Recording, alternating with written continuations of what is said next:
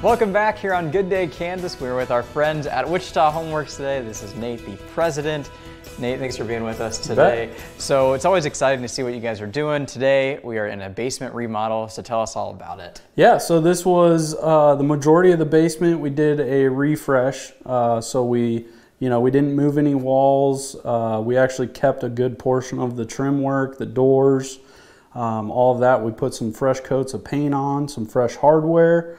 Uh, we did add a basement bar down here, so um, you know the family can entertain. Uh, they've got a wine cooler, a fridge, some countertop space. Should be a really nice place.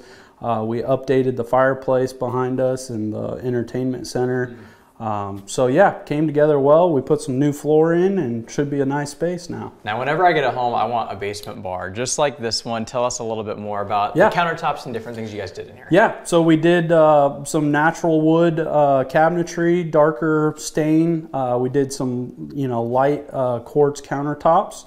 Uh, we got a subway tile in the background. They're gonna, are up on the backsplash, they're gonna put a TV up there. Um, yeah, and some stainless uh, appliances should make for a really nice place to entertain friends and family. Yeah, so. it looks awesome, and yeah. especially this time of the year with football, Definitely. this is a great time for that. Um, switching gears a little bit, talking about the floors, you yeah. guys came in and redid that as well. Yep, yep. So these are LVP floors, which uh, stands for luxury vinyl plank. Um, these are 100% waterproof. They hold up really well to pets and kids and and uh, moisture, that sort of thing. Uh, especially in basements, um, you know, with the with the concrete floors, uh, they can get kind of cold if you use hard surfaces. Um, but they also uh, concrete also is porous, and so at times there is moisture that comes up through.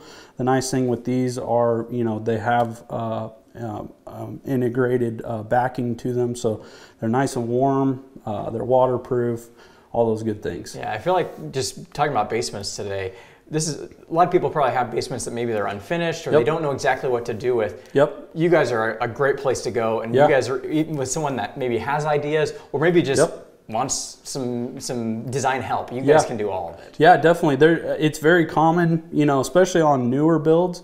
Um, you know, the basements are left unfinished, or you know, on a on a house that had a finish at one time, maybe they had you know some water damage, something like that.